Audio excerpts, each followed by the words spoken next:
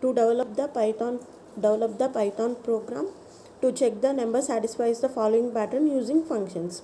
In this i have taken some special numbers using this uh, showing picture showing program. Start the program get the number of elements in the list stored in num. From the taken example using the variables take num and square root as strings. Use the conditions a double is equals to b closed bracket my minus len of a a with colon print if it satisfies. Special numbers or not. Print if it print if it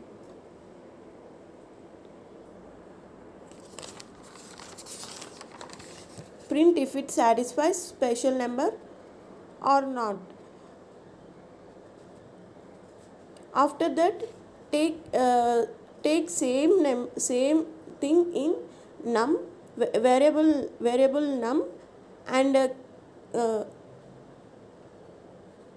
multiply with by taking square root square root as a variable print square root spl of नम काम square root